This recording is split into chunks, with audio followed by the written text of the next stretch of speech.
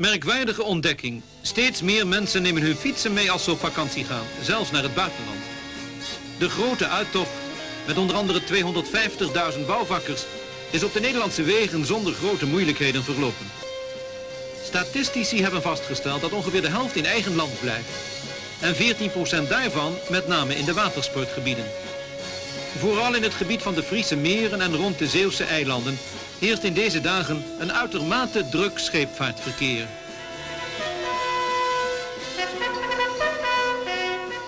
Dan zijn er de lui die ook letterlijk aan watersport doen. Bijvoorbeeld in de Kaagweek. Al hebben die tijdens de wedstrijden te kampen met de soms hinderlijke aanwezigheid van de toeristische voor hun pleziervaarders. Toch wisten de 12-voetjonnen nog wel ruimte te vinden voor hun wedstrijden.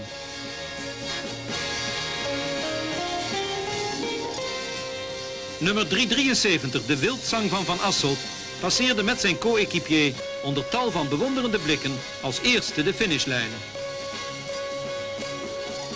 De slopende hitte dreef ook de niet-bootbezitters naar het water, zodat het in de natuurbaden overal geweldig druk was. Hetzelfde gold voor de kust en het al niet meer zo overheerlijk heldere Veluwemeer. Langs de randmeren van de IJsselmeerpolders is nauwelijks meer een plaatsje vrij voor de dagkampeerders of de langkampeerders in tenten of caravans. Kortom, het vakantieseizoen is echt begonnen.